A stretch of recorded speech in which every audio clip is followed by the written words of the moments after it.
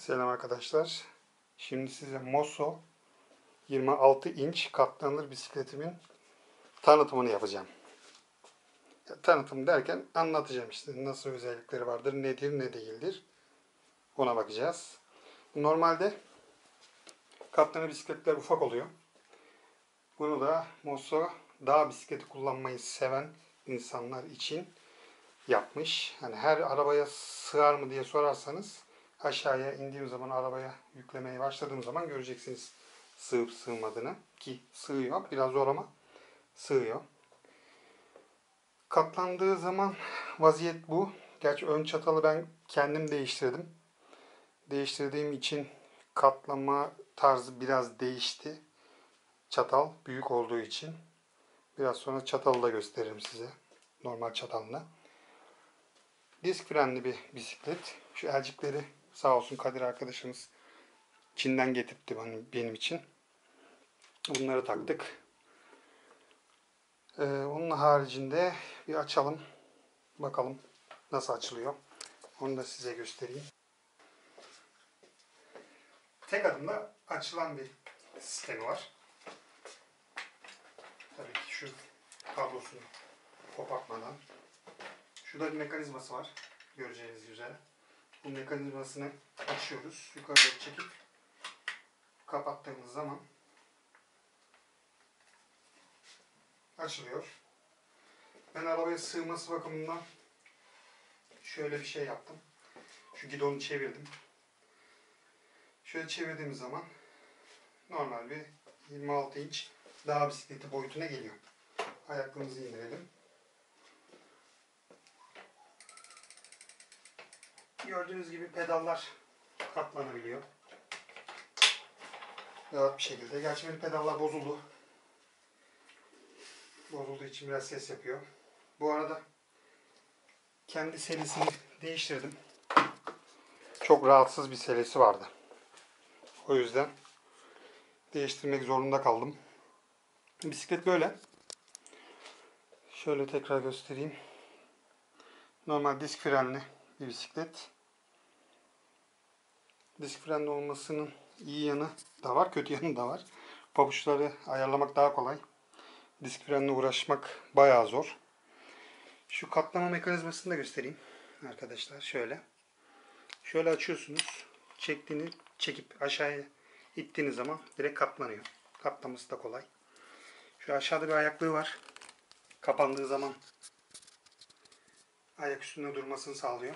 Ama dediğim gibi ben bu ön çatala sonradan alıp taktığım için biraz sıkıntı yarattı katlama tarafı. Onun haricinde bir problem yok. Hani gidişinde gidişinde hiçbir sıkıntı yok. Çok güzel oldu. Ama ön çatal normal çatal olduğu için, amortisörsüz olduğu için çok rahatsızdı. Ben bununla işe gittim geldim yaklaşık bir hafta. Canım çıktı diyebilirim yani. Şimdi size çıkan çatalı göstereyim. Ayrıyeten selesini de bakalım. Varsa bulabilirsem. Ee, ne kadar dandik olduğunu görün. Evet arkadaşlar üzerinden çıkan çatalı göstereyim. Üzerinden çıkan çatal bu. Dümdüz. Alüminyum çok hafif. Yani 2 kilo civarı bir şeydir. Bu çatal yaklaşık 7 kilo. bayağı ağır ve de bisikleti bayağı da ağırlaştırdı aslında bakarsanız ama tabi sürüş konforu benim için önemli. Takması da biraz uzun sürdü. Ayrıca şu disk freni yerine oturtabilmem için bir saniye şöyle koyalım. Tekrardan. Disk freni yerine oturtabilmem için de bayağı uğraşmam gerekti. Çünkü göreceğiniz üzere şöyle şu çatal alayım. Çatalın üstünde göreceğiniz gibi bu disk fren takma yeri şöyle şurası disk fren takılan yer burası. Bunun yanda. Şimdi bu yanda olduğu için Allah'tan üzerinde diskin daha doğrusu kaliperin üzerinde bir tane daha aparat vardı. Onu çıkarttım, bunu uyguladım. Yalnız bu sefer fren tutması ile ilgili sıkıntılar yaşadım. Onu da çözdük. Onda da bir problem sonradan olmadı. Selisi, orijinal selesi de bu. Yani bildiğiniz leş gibi kokan, leş gibi plastik kokan bir selesi var Mosso'nun. Hani şöyle bakarsanız üst üste koyalım. Bir daha söküp takacak halim yok tabi. Şöyle üst üste koyup bakarsanız ne kadar rahatsız olabileceğinizi olabileceğini görürsünüz. Şöyle. Bir de buna bakın. Bunu da bizim kuzen sağ olsun hediye etti.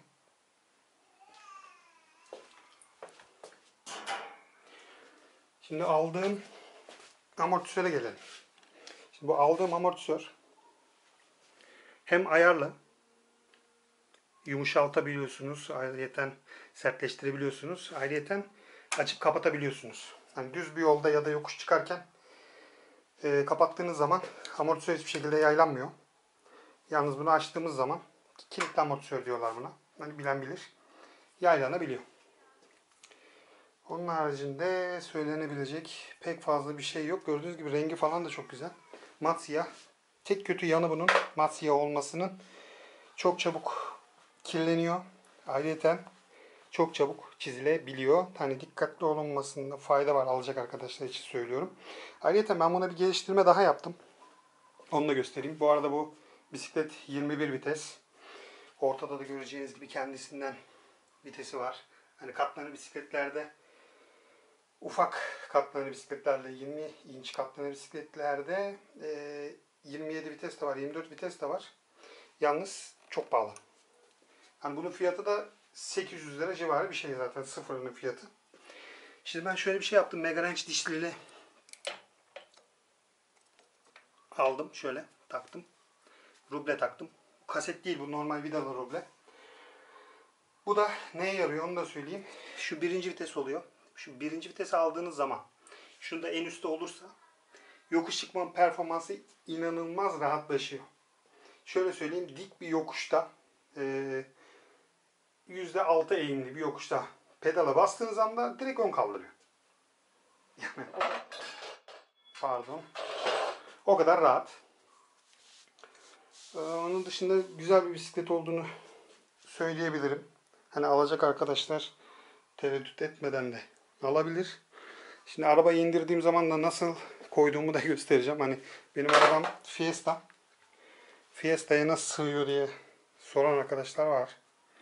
Onu da göstermiş olayım. Evet arkadaşlar biraz sonra Mosso'muzu asansöre sokacağız. Şimdi bu iki kişilik bir asansör. Şimdi içinde göreceksiniz. Bunun içine nasıl sığıyor diye de düşünebilirsiniz bisikletin. Biraz zor oluyor ama sığıyor. İki kişilik şöyle bir asansörümüz var. Gördüğünüz gibi. Mosso Mare 26 inç bisikletimizi şöyle şuraya sokacağız. İçeriye nasıl koyduğumu görüyorum.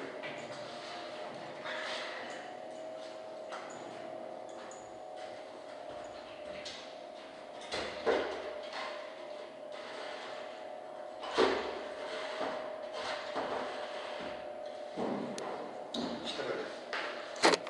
Evet, binelim. Biraz zor sığıyoruz gerçi ama. Gördüğünüz gibi sığdık. Şöyle. Buradan.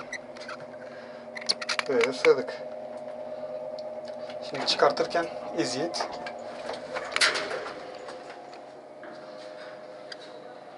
Çıkartırken kapatmak zorunda kalabilirim. Ya da şöyle koyabilirim. Kamerayı.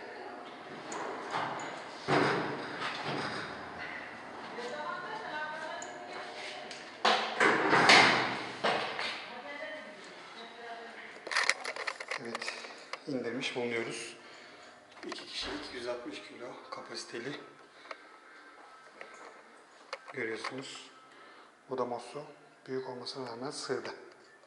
Biraz sonra arabaya koyacağız. Onu da çekeceğim. Evet arkadaşlar aşağıya indirdik. Şimdi arabamın bagajını göstereyim.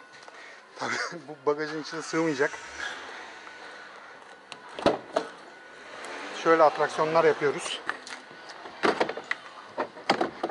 Bunu alıp içeriye koyuyoruz. Şuradan koltuğumuzu tamamen yatırıyoruz. Ondan sonrası biraz karışık tabi. Şöyle motorun üstüne koyup çekmeyi deneyeceğim. Devamını. Tabii bizim alarm çalacak büyük ihtimal. Fiyo fiyo. Bakalım. Çalmaz herhalde. Şunu bir açalım. Evet. Şöyle. Şimdi nasıl bir atraksiyona girdiğimi görün. Katlanabilir ama bayağı da büyük.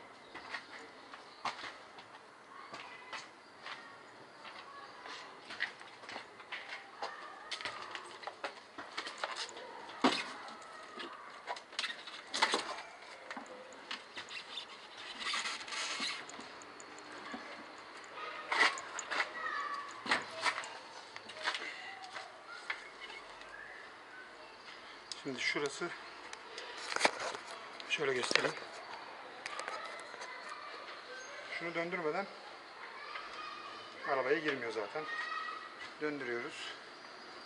Şöyle köşeden tutup tekerlekten tutup şöyle yapıp içeriye sokuyoruz.